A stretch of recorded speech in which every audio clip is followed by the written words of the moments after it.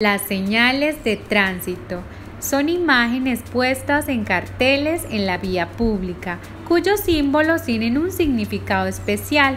Empecemos con las señales preventivas. Tienen forma de rombo, su color es amarillo y avisan sobre un posible peligro ubicado más adelante. Continuamos con las señales informativas. Estas tienen forma rectangular, su color es azul y nos informan sobre lugares de interés como aeropuertos, hospitales y restaurantes. Seguimos con las señales reglamentarias. Tienen diversas formas.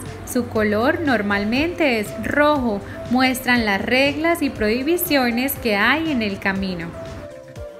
Finalmente encontramos las señales transitorias. Estas tienen forma de rombo y color naranja. Se usan de forma temporal como en la reparación de las vías. Observa las siguientes señales y pone en práctica lo aprendido.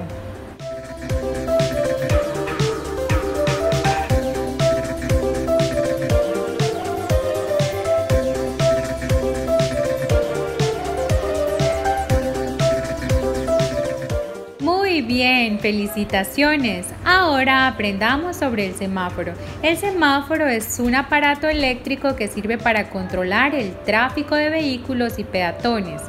Tiene tres colores. El rojo nos indica parar o detenerse. El amarillo es para la prevención y el verde nos permite arrancar o iniciar la marcha del vehículo.